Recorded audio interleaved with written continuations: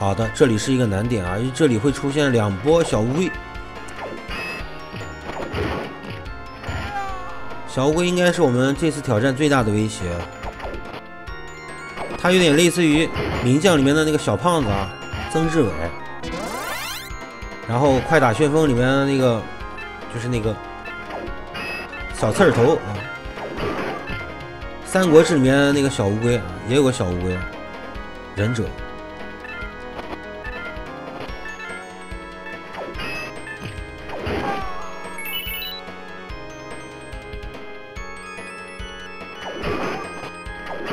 哎，这个小乌龟的这个外形，大家有没有联想过一个电视剧？就是咱们小时候经常看的，特别喜欢看的一个电视剧叫《莲花争霸》，不知道大家看过没有？里面《莲花争霸》里面，不知道大家最喜欢哪个角色？反正我是最喜欢的是杨唐啊，杨唐，因为杨唐那个剑法真的特别帅，一弄就转起来了那个啊。小时候说真的。大多数的朋友都会喜欢沈沈冲啊，沈冲，因为他毕竟是主角嘛，主角光环。那小时候我也会跟风啊，说我喜欢这个沈冲。其实，作为现在的角度来看，我还是更喜欢 杨唐一点啊，因为杨唐更接，虽然他傻傻的啊，没心眼，经常被女人耍，但是说真的，他是一个敢爱敢恨的人。最后啊，我想说的重点的是，杨唐死的那一段，被大家看了没有？就是被这个小矮子啊侏儒干死，跟刚才那那个小乌龟长得非常的像，感觉是不是类似于一种兵种？不过有一点不一样的就是，他那个小矮子会遁地啊，就是会钻在地里，还是有点不一样。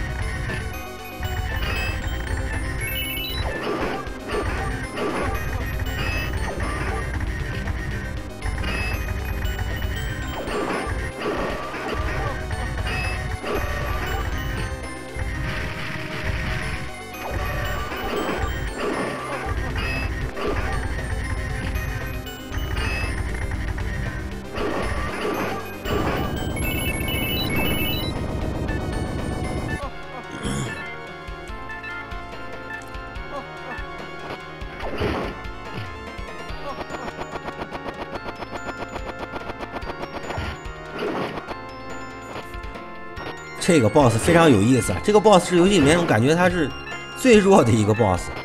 开场那个阵阵势非常的吓人啊，喳喳喳喳喳乱跑，实际上屁用都没有。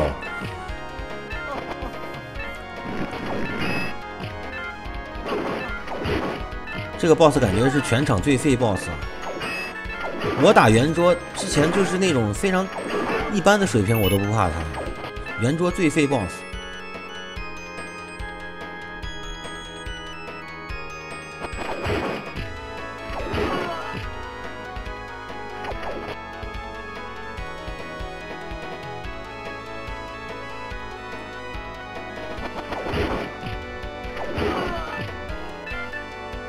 好，小乌龟来了，小乌龟来了，小心！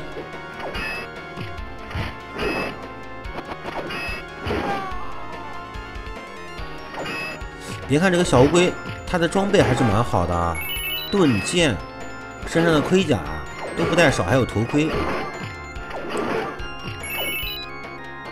过去打仗身上一旦盔甲，就是你看那个兵种啊，盔甲特别的稳固的那种，就特别全面的那种盔。然后身上的铠甲、腿甲都有的那种兵种的，就是偏向于比较高端一点的了。像现在电视剧上演的打仗，就包括小兵啊，盔甲都很全面的那种，那是扯犊子，不可能。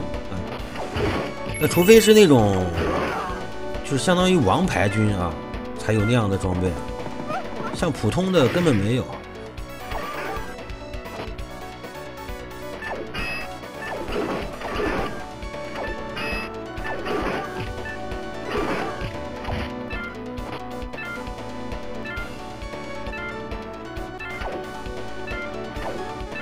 看那个三国里面，他讲究的是多少多少精兵啊，精兵。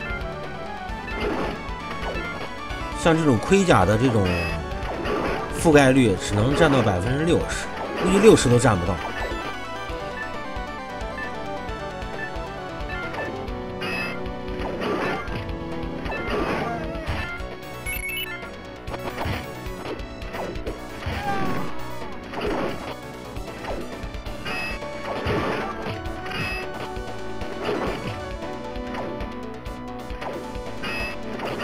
像这种头从头盖到脚的这种兵种，那都属于非常强力的了，非常强力的。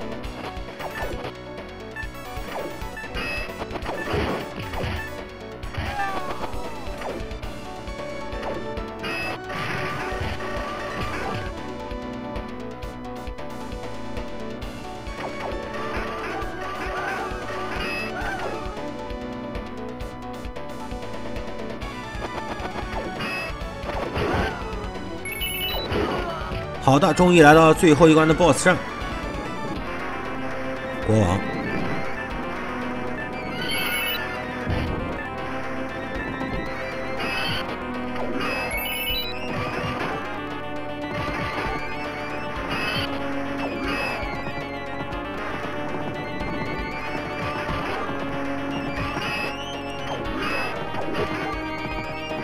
这个 BOSS 是圆桌骑士最难 BOSS 之一啊。除非你掌握了他的打法，不然这个 boss 真的很容易去，就是在这个 boss 上很容易去犯错。第一阶段呢，他骑的是一匹马，那么我们可以利用他这个身体不够灵活的特点，在他每次马转身的同时去打他，给他来个措手不及。那么大多数的情况下呢，他都会用格挡来回避我们的攻击。这种情况下，我们只需要。用格挡去防御他这个流星就可以啊，再利用自身的无敌闪身给他来一个重刀。好的，下马了，穿上了。这个时候小呆也升级了，升到最高级了。现在穿的是铂金盔啊，铂金盔。抢走他的马之后，压板鞭，重刀，重，不敢贪刀啊，不敢贪刀，不能因小失大。先把小兵干完，最后再击杀 BOSS。火直接丢马，反手刀漂亮！